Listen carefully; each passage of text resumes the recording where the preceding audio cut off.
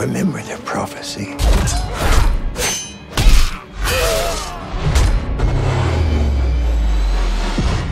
Samson.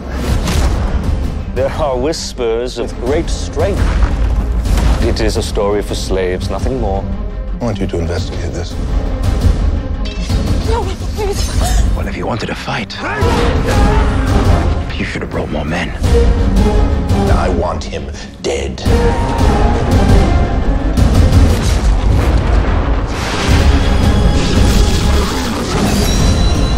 Strength is now your strength.